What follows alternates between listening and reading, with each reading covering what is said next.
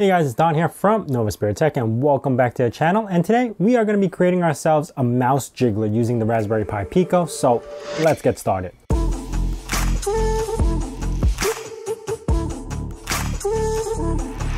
So the purpose of this device is actually to prevent your computer from going to sleep. And for those of you who are actually working from home where you actually got a computer from your job and you know you can't install special applications in there to automate that process. You, for any means, you actually can't install any software. And they also know if your computer is going to sleep.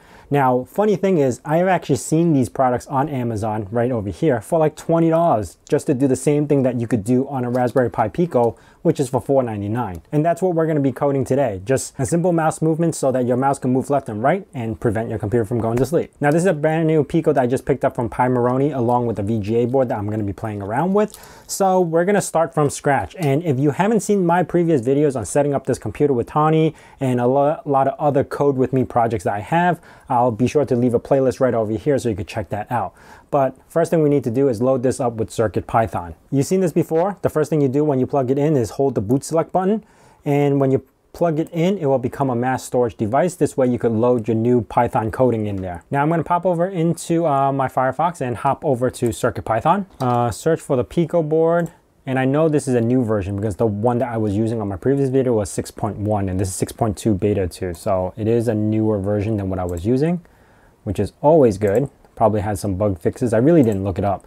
Now you're gonna get this UF2 file. I'm just gonna copy and paste it right into the Raspberry Pi board and let it reboot. Give it a couple of seconds. There we have it.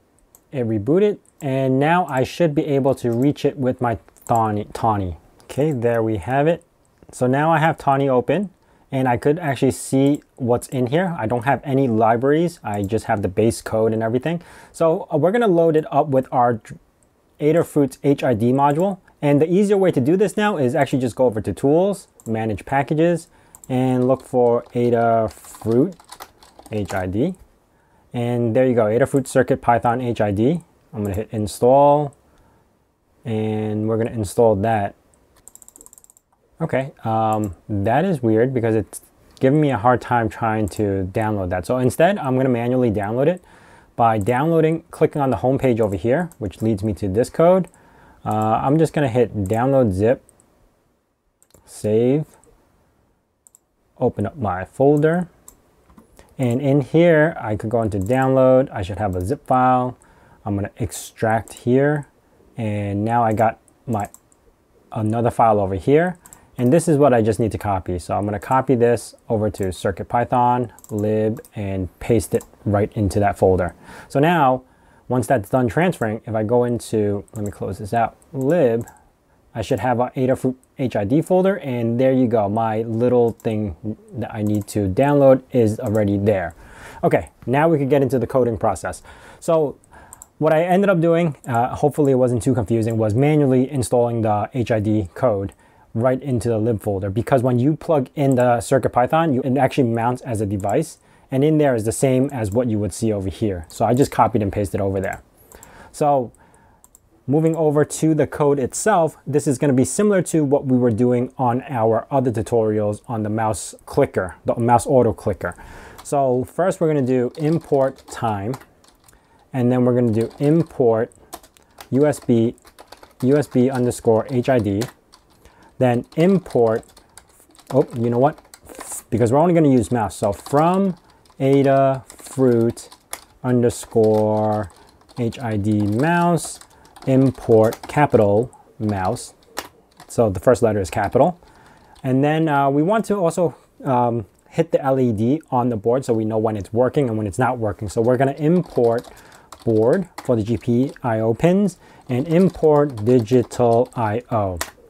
All right, once you get all these imported and typed up, next thing we need to do is actually code everything. So mouse equals capital mouse USB HID devices. Now we set the variable of mouse to be a USB HID device. And then now we could just use mouse to call up functions like mouse move and all that stuff. Next, we need to set up the LED. So LED equals digital IO dot digital in out board.gp25. capital GP25. Now GP25 is the LED pin on the Raspberry Pi Pico board.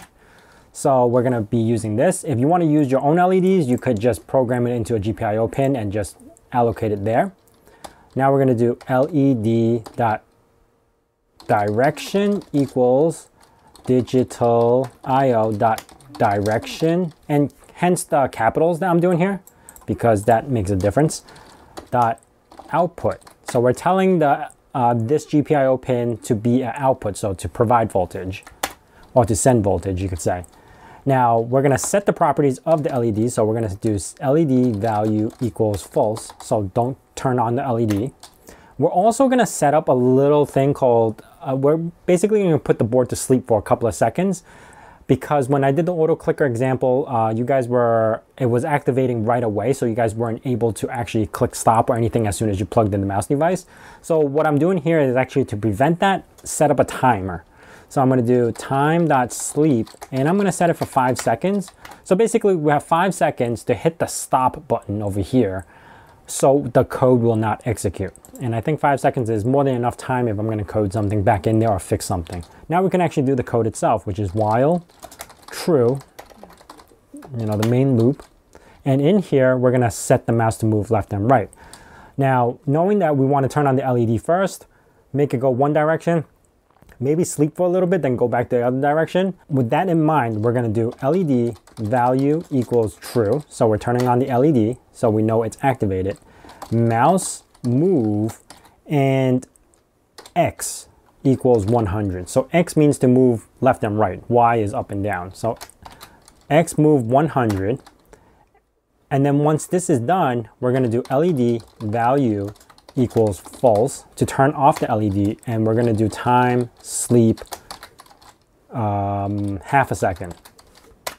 Now, we only made it go one direction. We kind of wanted to go back and forth. So we're gonna actually do this, copy this code, paste it again, but instead we're gonna do negative 100. So it's gonna move 100 one way, then 100 back the other way sleep for five sec, uh, half a second, you know, stuff like that, and then go back and forth, back and forth.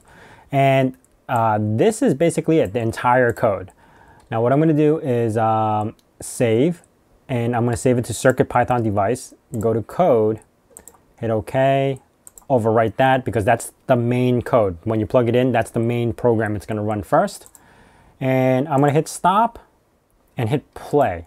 So I'm gonna give it five seconds and my mouse Okay.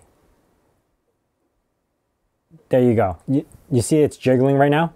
Moving left, moving right, moving left, moving right, moving left, moving right. So that's basically it. Wherever I move, you see the mouse just bouncing left and right. It's jiggling the mouse. And that is enough to prevent the computer from going to sleep.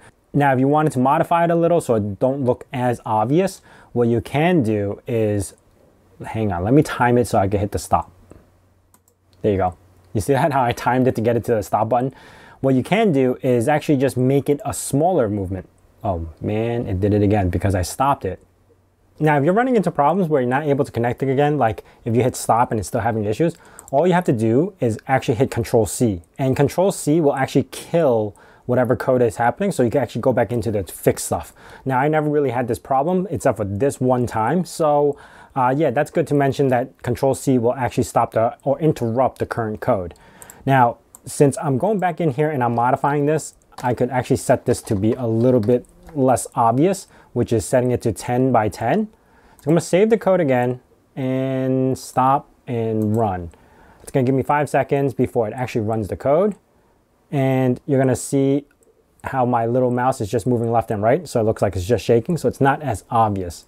And you could actually code a button into it if you follow my previous tutorial for the macro keyboard stuff, where you can actually enable or disable using a button itself. Anyway, that's it for me guys. I'm gonna actually upload this code onto my GitHub so you guys could just copy and paste it if you wanted to. If you guys have any questions about this, hit it down in the comments below or if you guys wanna see any other projects that you guys have off the top of your head, let me know down in the comments below. If you guys are new to this channel, consider subscribing. Also hitting that bell notification icon so you know when the next video is going to be out. And as I say in my nerd cave, hack till it hurts.